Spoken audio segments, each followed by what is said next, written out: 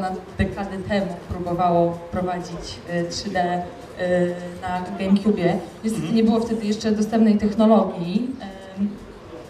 Teraz jest. E, No Dodatkowo, dodatkowo zaletą jest to, że 3DS ma swój własny ekran i dzięki temu może wyświetlać e, obraz 3D bez okularów. Właśnie, jest to dosyć dobra wiadomość. Pamiętajcie o tym, że podstawową rzeczą w konsoli przenośnej jest ekran. Bez tego ciężko było pograć. E, Najważniejsza rzecz, czyli ekran 3D, który jest 10% większy od, ekrana, No od ekranu DS-a. E, Ale poza tym ma jeszcze taką małą cechę z boku, to jest e, suwak, który pozwala na regulację głębokości 3D. Y, A jak wygląda kompatybilność y, z poprzedniczką? No, Z ja bardzo się cieszę z DSem. tego, że e, jest całkowita prawie kompatybilność wsteczna. Mhm. Będę sobie mogła grać na Nintendo 3DS mojego Ghost Tricka. Nie wyobrażam sobie chodzenia z dwoma konsolami, a nie zamierzam się rozstawać z moim 3DS-em.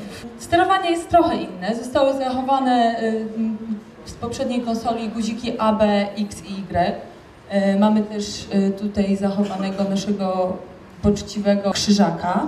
No tak, na, na rzecz też kolejnych wydarzeń historycznych. Warto wziąć to pod uwagę. 1410 rok, Ulrich von Jungingen, X-Wing. A co, co jest nowego, to e, pad analogowy, który bardzo dobrze sprawdza się w środowisku 3D. Pozwala na obrót kamery o 360 stopni.